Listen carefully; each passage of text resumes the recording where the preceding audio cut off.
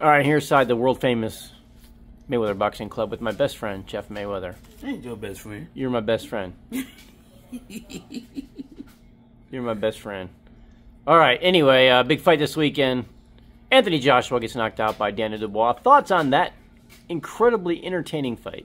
Um, it was a little surprising.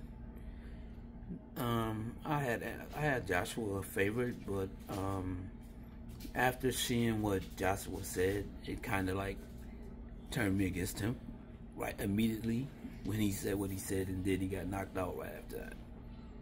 Yeah, I mean, I, you give credit for, I guess Joshua always being willing to trade, but man, that's you know when he loses, that's that's usually uh, what does him in.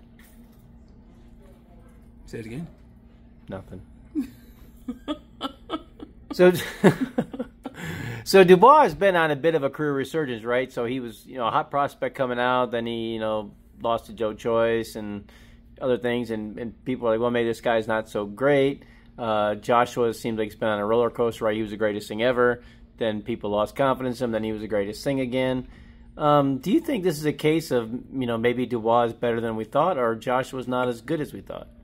Um, it could be a little bit of both, but it's probably Joshua not as good as we thought. I mean, he's an Olympic gold medalist, and of course, the expectations of uh, Olympic gold medalists is, you know, is, the stakes are very high.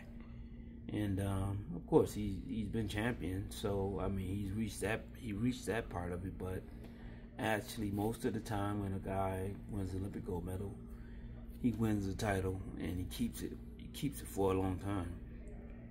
But well, um, what would you know about that?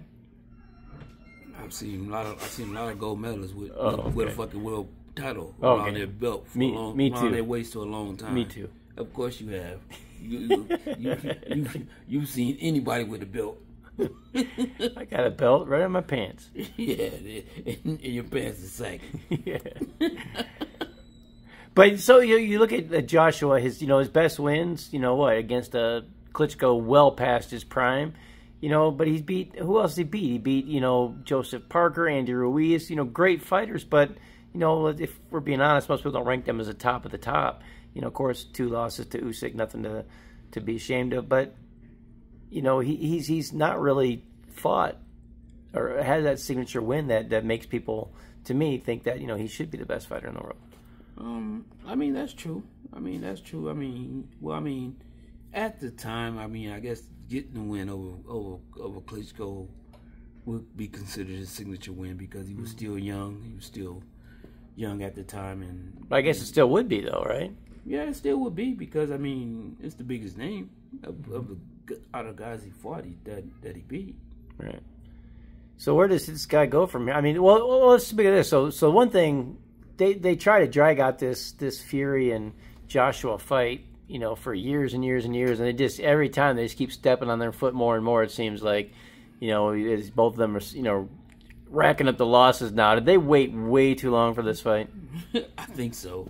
I think that I think when right after Tyson Fury beat Deontay Wilder the second time, I think that's when the fight should have happened.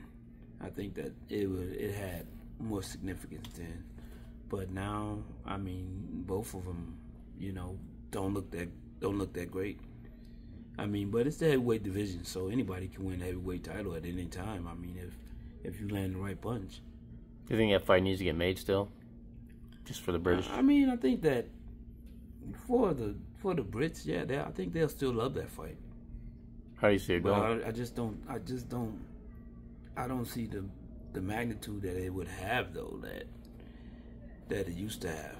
Do you think Fury and Dubois would carry that same kind of interest? Um, I think it. I think it. It. It, it would be very interesting. I mean, he just knocked out. He just knocked out Anthony Joshua. So yeah, I mean, he's put himself in a position where, you know, I mean, now people are gonna think that Dubois is a guy that he's he's actually put himself in that in that position. Do you, do you, do you favor Fury against either or neither um, or both or? I mean, I would I would favor Fury, but at the same time, I don't really know because Fury took so much damage from Deontay, and he's not the same fighter either. So don't know which which Fury's going to show up. Well, we know boxing math doesn't work, but you do have at least one comparison, right? Fury against Usyk again, and then Joshua against Usyk. Yeah, I mean, don't get me wrong. I mean, the thing is, is that basically, but Tyson Fury is, is not the same fighter. He's not the same fighter at all, and I don't think that, you know, I think that I would have picked him to beat Dubois, to beat Joshua, beat almost anybody in that division. And I even picked him to beat Usyk.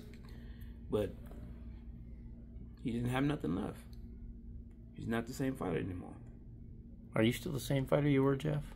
I hope not. Shit. All right, man. Thanks.